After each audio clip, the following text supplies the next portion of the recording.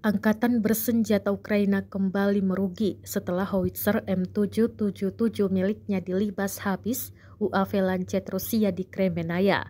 Rekamannya beredar di Telegram pada Rabu 5 April 2023. Dalam keterangan unggahan disebutkan area medan dekat Kremenaya tengah panas-panasnya. M777 yang terparkir rapi di sekitar pemukiman berhasil diciduk oleh drone pengintai Rusia.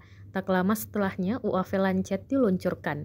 Dalam keterangan unggahan disebutkan UAV Lancet dari Angkatan Bersenjata Rusia menyerang howitzer 155 mm M777 yang dipindahkan ke Angkatan Bersenjata Ukraina oleh negara-negara NATO.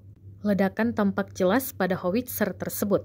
Senjata howitzer M777 150 mm salah satu yang sekarang digunakan oleh militer Ukraina dalam perang melawan Rusia yang dipasok oleh negara barat.